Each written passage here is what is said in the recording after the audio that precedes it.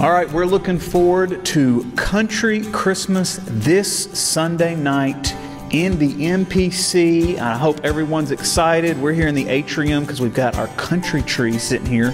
That was Grant's pick. He's like, this is a more country tree.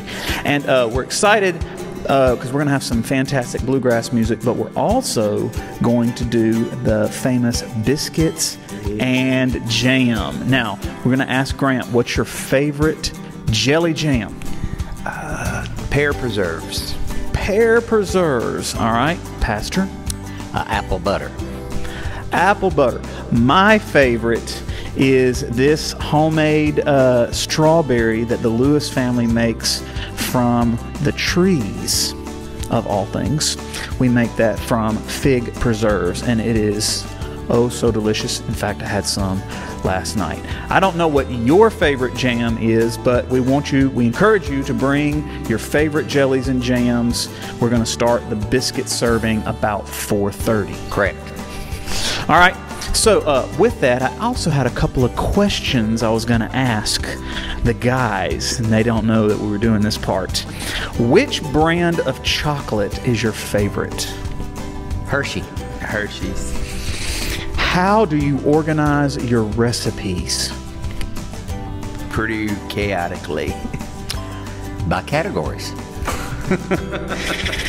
Yes, but uh, I do understand that Kathy just kind of throws them on cards all over the place and can't find them. That's kind of how mine are. Do you clean as you cook or at the end? I know your answer. Clean as a cook. As you cook. As you should. What's your favorite food movie? Ratatouille. I had a kid say that at school today. The chef. I like the chef too. That's a good one. Do you have any treasured handwritten recipes? Uh, no.